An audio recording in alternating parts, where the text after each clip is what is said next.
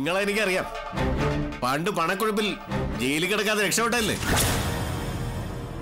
പക്ഷേ നിന്റെ ഭർത്താവിന് അങ്ങനെ രക്ഷപ്പെടാൻ കഴിയില്ല. ജയിലിൽ കിടക്കും. കുരുക്കുകൾ മുറുക്കി കഴിഞ്ഞു. വിളിച്ചാ പറഞ്ഞുതരാം അവനോട്.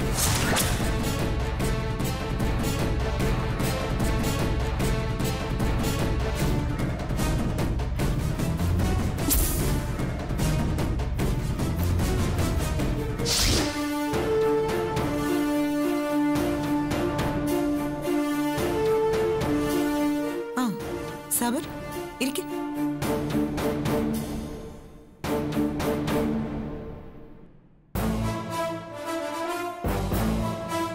വിനീതയുടെ കാര്യത്തിൽ എന്തെങ്കിലും ഇൻഫർമേഷൻ ഉണ്ടോ സബർ?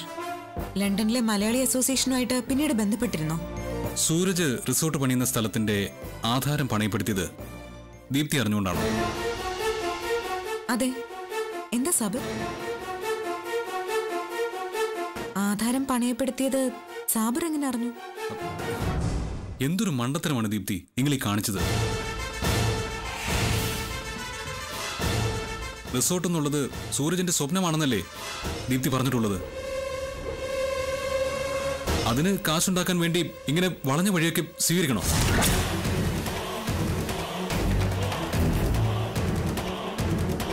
സൂരജിനെ പോലെ ഒരാളിൽ നിന്ന് ഇത് ഞാൻ പ്രതീക്ഷിച്ചില്ല.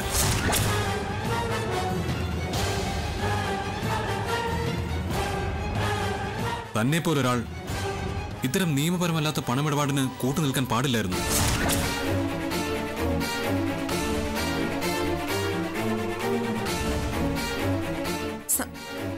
എന്തൊക്കെയാ പറയുന്നത് നിയമപരമല്ലാത്ത പണമിടപാടിന് ഞാൻ കൂട്ടുനിന്നോ പിന്നെ? നരേന്ദ്ര സേട്ടു നിയമപരമായി ധനകാര്യ സ്ഥാപനം നടത്തുന്ന ആളാണോ?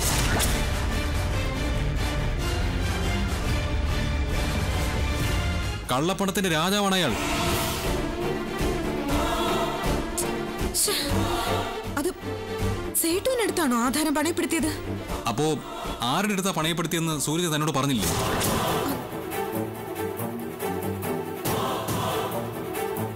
അല്ലെങ്കിലും ചികിത്സയിൽ കഴിയുന്ന സൂരജ് എപ്പോ ഇങ്ങനെ ഒരു കാര്യം ചെയ്തു? അയാളുമായിട്ടുള്ള ഇടപാട് ആദ്യമായിട്ടാണോ? ഇതിനു മുമ്പ് ഉണ്ടായിരുന്നോ? സാബർ സത്യം പറഞ്ഞാൽ ഞങ്ങളല്ല ആധാരം പണയപ്പെടുത്തിയത്. സൂര്യചേട്ടന്റെ റിസോർട്ടിന്റെ പാർട്ട്ണർ സച്ചിനാണ്. ഇപ്പൊ അയാൾ ഞങ്ങളുടെ കുടുംബ സുഹൃത്തു കൂടിയാ. ആ ആധാരം മുൻപേ പണയത്തിലായിരുന്നു. അത് വെച്ച് ലോൺ എടുത്ത കാശുകൊണ്ടാ അച്ഛന്റെ അമ്മയുടെയും ചിട്ടിക്കമ്പനിയുടെ പ്രശ്നം തീർത്തത്. സച്ചിന്റെ ഫാദർ ഇൻ ലോ ലണ്ടനിലെ ജയിലില. അവർക്ക് എന്തോ കോമ്പൻസേഷൻ കൊടുക്കാനായിട്ട് കോടികൾ വേണം. അതിനുവേണ്ടി കാശ് സ്വരൂപിക്കുന്ന കൂട്ടത്തിൽ റിസോർട്ടിന്റെ പാർട്ട്ണർഷിപ്പ് ഒഴിയാണ് കാശ് തിരികെ വേണമെന്ന് സച്ചിൻ പറഞ്ഞു. ഞങ്ങളുടെ കയ്യിൽ അത്രയും ക്യാഷ് ഇല്ല. അപ്പോഴാ അയാൾ ഇങ്ങനൊരു ആശയം പറഞ്ഞത്. ബാങ്കിൽ അയാൾ ക്യാഷ് അടച്ച് പണയത്തിലായ ആധാരം തിരിച്ചെടുക്കുന്നു. ആ ആധാരം അയാൾ പരിചയമുള്ള ഒരു ബാങ്കിൽ പണയപ്പെടുത്തി കൂടുതൽ തുക ലോൺ എടുക്കാമെന്ന്. അത് പ്രകാരം ഞാൻ ആധാരം എടുത്ത് സച്ചിന് കൊടുത്തു.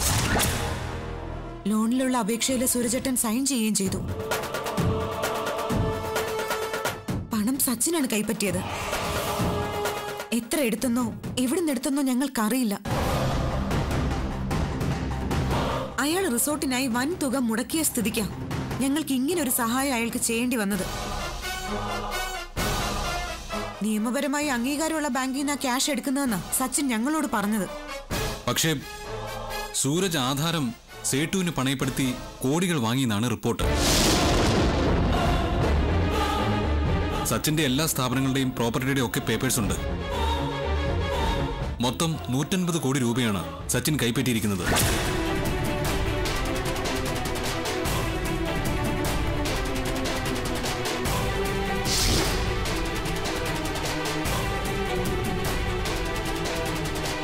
എല്ലാം കള്ളപ്പണമാണ്.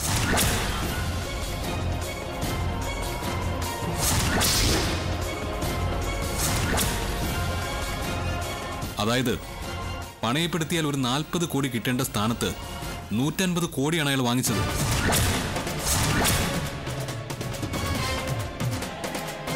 ഈ സേട്ടു അടക്കം കള്ളപ്പണക്കാരായ കുറെ ആളുകളെ നിരീക്ഷിച്ചു വരികയായിരുന്നു. തെളിവ് സഹിതം പൊക്കി എല്ലാവരെയും. സേട്ടുവിന്റെ ഓഫീസിൽ റെയ്ഡ് നടത്തി. രേഖകളൊക്കെ പരിശോധിച്ചപ്പോഴാണ് സൂരജും ഇതിന്റെ ഭാഗമാണെന്ന് അറിയുന്നത്.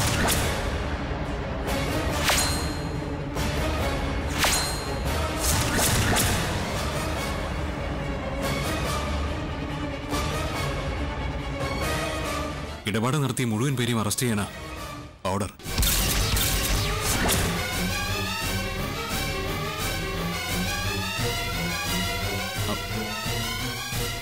അതിൽ സൂരജും പെടും.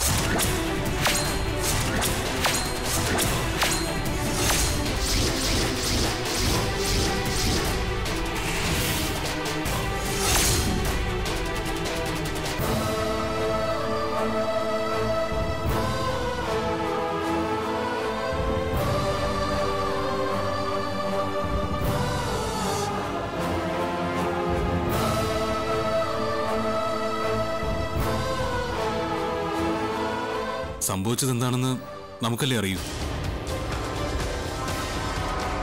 കള്ളപ്പണം വെളുപ്പിക്കുന്ന സ്ഥിരം ക്രിമിനൽസ് ആണ് പോലീസിന്റെ കണ്ണിൽ സച്ചിനും സൂരജും ഒക്കെ.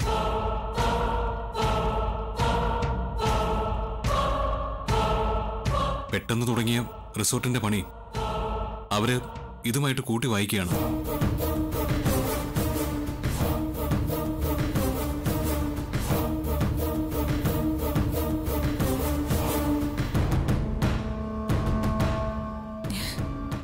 അറിയാലോ സൂര്യചേട്ടന്റെ അവസ്ഥ. ചികിത്സയല്ല അദ്ദേഹം. എങ്ങനെയല്ലേ രക്ഷിച്ചേ പറ്റൂ സാബർ? എങ്ങനെ രക്ഷിക്കും?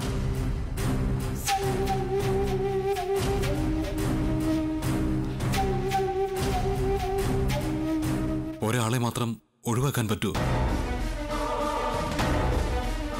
അറസ്റ്റ് ഒഴിവാക്കിയാൽ വിമർശനം ഉണ്ടാവും.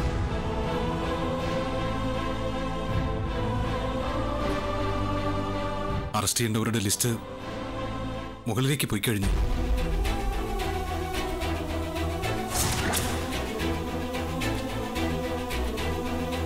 ഇനി രക്ഷയില്ല.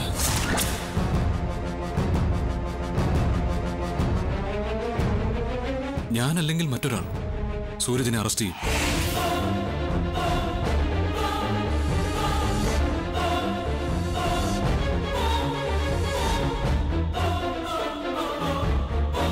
തെളിവുകളുണ്ട്. ജയിലിൽ പോകേണ്ടി വരും സൂരജിന്.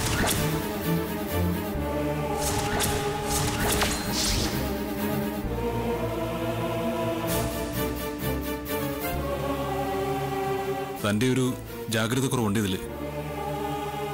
സൂരജിനെ മാത്രം കുറ്റം പറഞ്ഞിട്ട് കാര്യമില്ല.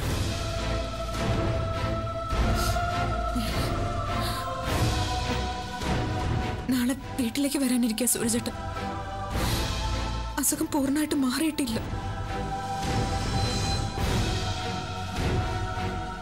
അറസ്റ്റ് ഒഴിവാക്കാൻ എന്തേലും മാർഗമുണ്ടോ സാബർ? ഞാൻ തന്നെ പഠിപ്പിക്കേണ്ട കാര്യമില്ലല്ലോ.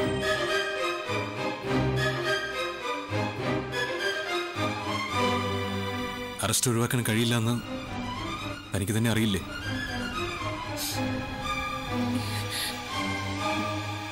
സന്തോഷത്തില അച്ഛനും അമ്മയും മക്കളും ഒക്കെ. സൂര്യചട്ടം വരുന്നതും കാത്തിരിക്കുക അവർ.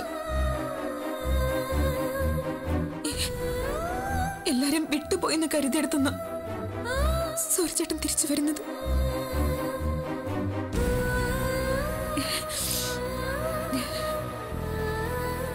അതിനിടയിൽ ഇങ്ങനെ സംഭവിച്ച സാബൻ സൂര്യചേട്ടൻ ഒരു തെറ്റും ചെയ്തിട്ടില്ല. അറിഞ്ഞിട്ട് പോലുമില്ല. സൂരജ് നിരപരാധിയാണെന്ന് നമുക്കറിയാം. പക്ഷെ എന്ത് ചെയ്യാൻ പറ്റും? സച്ചിൻ സൂത്രശാലിയാണ്. അവൻ ലണ്ടനിലേക്ക് മുങ്ങിയെന്നാണ് സൂചന.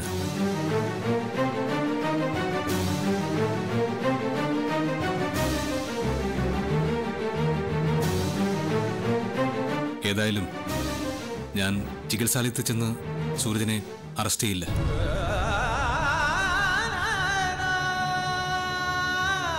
നാളെ ഓട്ടെ ഇത്രയും വിഷമം ഞാൻ എന്റെ കരിയറിൽ ഇതുവരെ അനുഭവിച്ചിട്ടില്ല.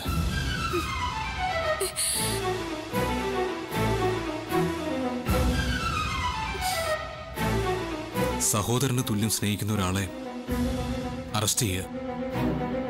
ജയിലിലേക്ക് പറഞ്ഞയക്കുക.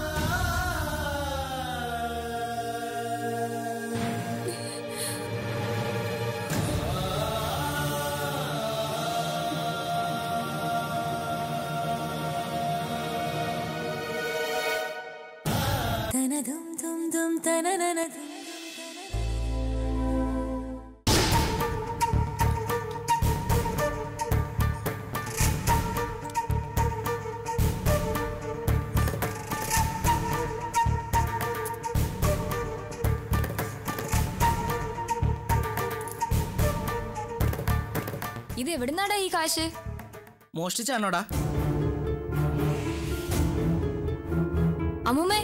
ഇത് കണ്ടോ? ധീരന്റെ കയ്യിൽ കാശ്.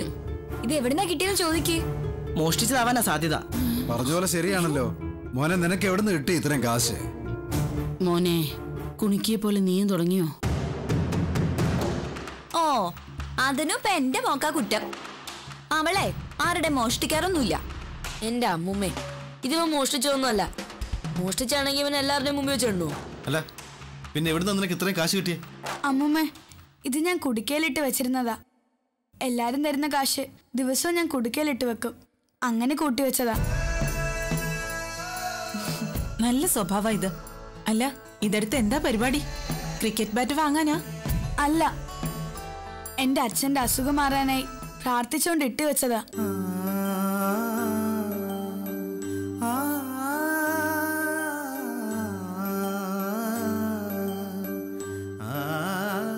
അച്ഛൻ വന്ന അമ്മൂമ്മ അപ്പൂപ്പനും അച്ഛനെയും കൊണ്ട് ക്ഷേത്രങ്ങളിലൊക്കെ പോവില്ലേ? അപ്പോ എല്ലാ ക്ഷേത്രങ്ങളിലും ഇട്ടാ മതി ഇത്.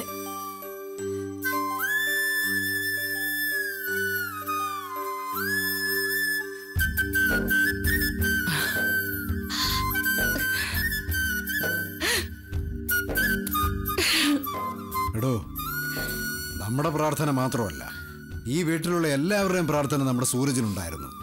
അതാ ഇത്രയും പെട്ടെന്ന് അസുഖം ഭേദമായി നമ്മുടെ മോൻ ഇവിടെ തിരിച്ചെത്താൻ പോകുന്നേ. അതിൽ എന്റെ കാശും ഉണ്ട് ധീരെ പറയാതെ ഞാനും അതിൽ കാശിട്ടിരുന്നു. നിന്നോട് ആരാടാ എന്റെ കുടുക്കയിൽ കാശിടാൻ പറഞ്ഞേ?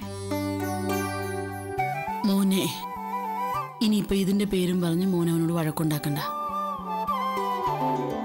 എടി നീ ഇവനെ കണ്ട് പഠിക്ക്. എനിക്കാണ് അസുഖം വന്നിരുന്നത് നീ ഇങ്ങനെ ചെയ്യുമായിരുന്നോ? ഏ? ചെയ്യും. സൂരജ് വല്യച്ചിന് വേണ്ടി ഞാനും പ്രാർത്ഥിക്കാറുണ്ട്. നേരാ അവന് വേണ്ടി പ്രാർത്ഥിക്കാത്ത നേർച്ചകൾ നേരാത്ത ആരെങ്കിലും ഉണ്ടോ ഈ വീട്ടിനകത്തും നാട്ടിലും? അവൻ വരട്ടെ. ഈ വീട്ടിലെ എല്ലാവരും അവനോടൊപ്പം വഴിപാടുകളും നേർച്ചകളും നേർന്ന ക്ഷേത്രങ്ങളിലെല്ലാം പോണം. ഹൈദരാബാദിലേക്ക് കളി കാണാൻ പോവാൻ എല്ലാവരും തീരുമാനിച്ചല്ലേ അത് നടന്നില്ല. ഇനി എല്ലാവർക്കും ഇങ്ങനൊരു ടൂർ പോവാം. എന്റെ മീനാക്ഷി നീ അതിനെ ഓർമ്മിപ്പിക്കല്ലേ? അതൊക്കെ ഞങ്ങൾ മറക്കാൻ ശ്രമിക്കുക അച്ഛാ ഇത്രയും സന്തോഷം ഈ വീട്ടിൽ ഇതിനു മുമ്പ് ഉണ്ടായിട്ടില്ലല്ലോ. ഇത് നമുക്ക് ആഘോഷിക്കാമേ. നമുക്ക് എല്ലാവർക്കും കൂടി ഒരു യാത്ര പോവാം. എല്ലാവരും ഉണ്ടാവും. പക്ഷേ ഒരാൾക്ക് അപ്പോഴും തിരക്കായിരിക്കും ദീപ്തിയെടുത്തേക്ക് അത് ശരിയാ. ദീപ്തിക്ക് എപ്പോഴും ഡ്യൂട്ടിയാ. പിന്നെ അവളുടെ ചെവിക്ക് പിടിച്ചു കൊണ്ടുപോകും ഞാൻ. എടോ നാളെയല്ലേ സൂരജ് വരുന്നേ? അടുത്ത ദിവസം തന്നെ അവനെ കൊണ്ട് എല്ലാ ക്ഷേത്രങ്ങളും നമുക്ക് പോകണം നാളെ മുതലേ കുറച്ച് ദിവസത്തേക്ക് ദീപ്തിമോളോട് ലീവ് എടുക്കാൻ പറ. അതെ അമ്മേ കയ്യോടെ എടുപ്പിച്ചില്ലെങ്കിൽ അത് പ്രശ്നമാവും. മോനെ നീ ഒന്ന് അവളെ ഒന്ന് വിളിച്ചെന്നേ.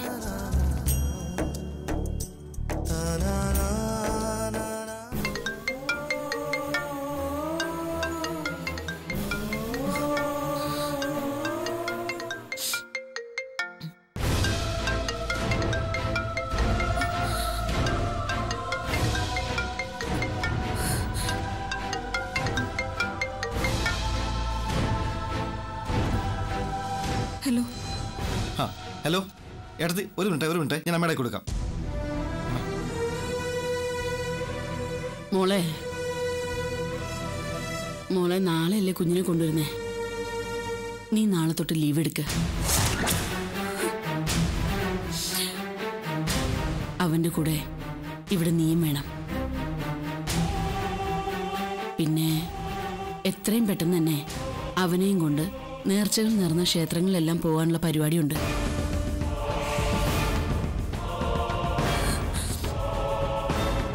ഇനി നീയായിട്ട് അതിനൊരു തടസ്സം വരുത്തരുത്.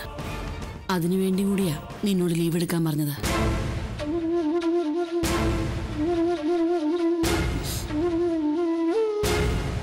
ഞാൻ ലീവ് എടുക്കാം ആ ലീവ് എടുത്താ നിനക്ക് നല്ലത്. അല്ലെങ്കിലേ അമ്മയുടെ കയ്യിൽ നിന്ന് നീ വാങ്ങും.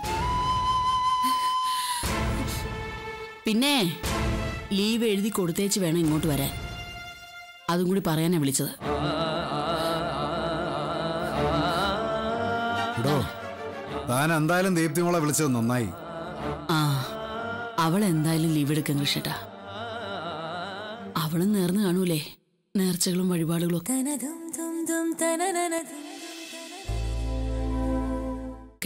എത്ര നാളായി അച്ഛന്റെ കൂടെ ഒന്നിച്ച് കഴിഞ്ഞിട്ട്? അച്ഛൻ വരട്ടെ അടിച്ചു പൊളിക്കണം നമുക്കെല്ലാവർക്കും. ആ പിന്നെ കൃഷ്ണേട്ടാ നമുക്ക് ചന്ത വരെ ഒന്ന് പോയിട്ട് വരാം. ഒരു ഇച്ചിരി സാധനങ്ങളൊക്കെ വാങ്ങിക്കാനുണ്ട്. എന്റെ കുഞ്ഞിന് ഇഷ്ടമുള്ള കറികളെല്ലാം ഉണ്ടാക്കി വെക്കണം. എത്ര നാളായി? ഞാൻ വിളമ്പി കൊടുത്ത എന്റെ കുഞ്ഞ് കഴിച്ചിട്ട്.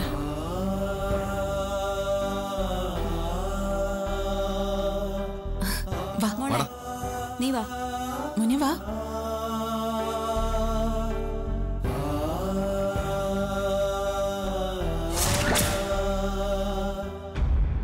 അച്ഛനൊന്ന് പെട്ടെന്ന് വന്നാൽ മതിയായിരുന്നു.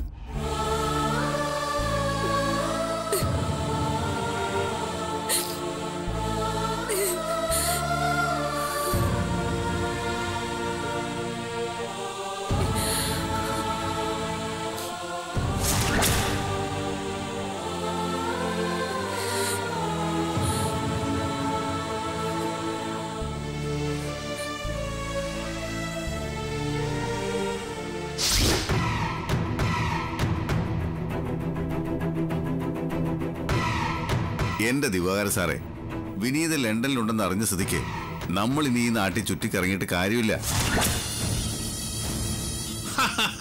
അത്താഴകുന്നു അല്ല ധനവാല അവളെ തേടി ലണ്ടനിലേക്ക് പോകണമെന്നാണോ ധനവാലം പറയുന്നത്? ആ അതാ ഞാൻ പറഞ്ഞത്. ഞാൻ വേണമെങ്കിൽ ഒരു മാസം ലീവ് എടുക്കാം. ലണ്ടനിൽ പോയിട്ട് അവൾ അവിടെ ഉണ്ടോ എന്ന് അന്വേഷിക്കാം. ഓ എന്ന്. റേപ്പ് ചെയ്യപ്പെട്ട പെണ്ണുങ്ങളെയും തേടി ധനവാരം കേരളം മുഴുവൻ നടന്നു. ഇനി ലണ്ടനിൽ പോയി സുഖവാസം നടത്താനാണ് തന്റെ പ്ലാൻ അല്ലയോ? ആ പൂതി അങ്ങ് മനസ്സിൽ വെച്ചാ മതി. അതാണ്. വേണമെങ്കിൽ ഞാനും ഈ ദിവാകരൻ നേതാവും കൂടി അങ്ങ് ലണ്ടനിൽ പോയി ഒന്ന് അന്വേഷിക്കാം. എന്തേ? ആ മോഹം ഒന്നും നടക്കുകയല്ല ഋഷികേഷേ വേണ്ടെങ്കിൽ വേണ്ട. ഈ പേര് ലണ്ടനിൽ ടൂർ പോകാമെന്ന് നിങ്ങൾ രണ്ടുപേരും കരുതണ്ട. വേണ്ട അല്ലയോ അല്ലയോ ധനപാല ആ വെള്ളമേ അങ്ങ് വാങ്ങി വെച്ചാര്. ഈ കളിയിലേ രൂപ കുറെ എന്റെ അങ്ങ് പോയേ. അതിന്റെ റിസൾട്ട് ഒന്നും കിട്ടിയുമില്ല. നിങ്ങൾ മിടുക്കരാണെങ്കിൽ ഇവിടെ നിന്നുകൊണ്ട് വിനീതെ കണ്ടെത്തുക. അതിന് നിങ്ങൾക്ക് കഴിയുമോന്ന് ഞാനൊന്ന് നോക്കട്ടെ. ധനവാല എങ്കിൽ സമയം കളയരുത്. ദീപ്തി വിനീതിയിലേക്ക് എത്തും മുമ്പേ നമ്മൾ അവളെ കയ്യോടെ പിടികൂടണം. നിങ്ങൾ വിചാരിച്ച നടക്കുമെന്നേ. രണ്ടുപേരും ഒന്ന് ഉഷാറാകേ. പിന്നെ സുഭാഷിനെ നമുക്കൊപ്പം നടത്തണം കാശിന് വേണ്ടി എന്തും ചെയ്യും ആ വൃത്തികെട്ടവൻ. അവനെ വെച്ച് ദീപ്തിയുടെ നീക്കങ്ങൾ തന്ത്രപൂർവം അറിയണം നമുക്ക്.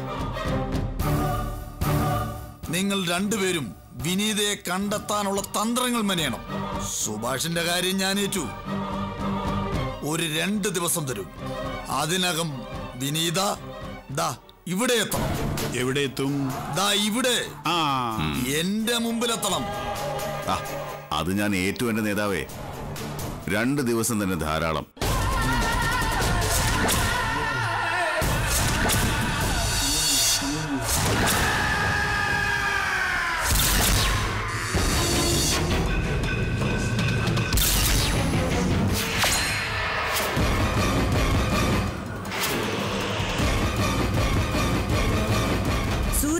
നിരപരാധിത്വം തെളിയിക്കാൻ.